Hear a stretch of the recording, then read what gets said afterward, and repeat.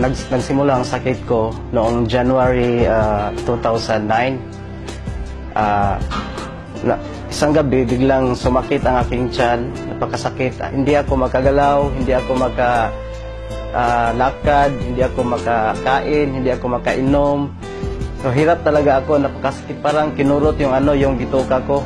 So kinabukasan, nag-decide ako na magpa-check up agad sa doktor.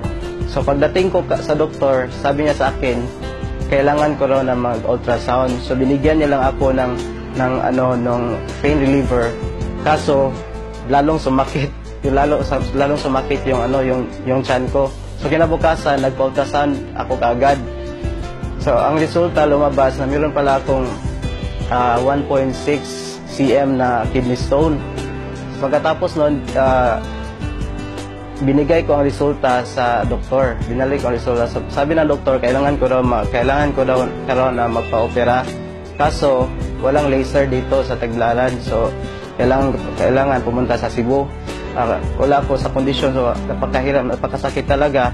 So, naalala ko yung kapatid ko na meron siyang ini-endorse na produkto. So, tinawagan ko siya. Pagkatapos noon, dumating siya, naki- nakita kami. So, binigay niya sa akin yung C24-7. So, sabi niya sa akin, subukan mo lang yan. Ah, dahil makakatulong yan sa'yo. So, sabi niya sa akin, inumin ko raw 6 capsules per day. Ah, ininom ko lang yun. Ah, Kinabukasan, ah, naramdaman ko na medyo guminawa yung, yung, yung pakiramdam ko.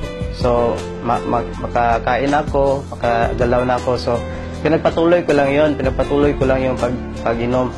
Hanggang sa dumating ang ah, limang araw, so after five days, ah, napansin ko na wala na talaga akong nararamdaman. So, nag-decide ako na magpa-ultrasound ulit. So, pag pagkalabas ng resulta, nagulat na ako, na-shock na ako na nawala na pala yung ano, yung kidney stone. So, ah, sabi sa akin ng doktor, anong ginawa mo? No, sinabi ko sa kanya na, no, sleep 24/7 lang to. Pagkatapos nung umuwi na ako sa amin, ah, napakasaya ko, no, nakas- na-save ko yung yung pera ko para opera. So hindi na ako na hindi na ako naoperahan. Tapos ah, bumuti yung kondisyon ko.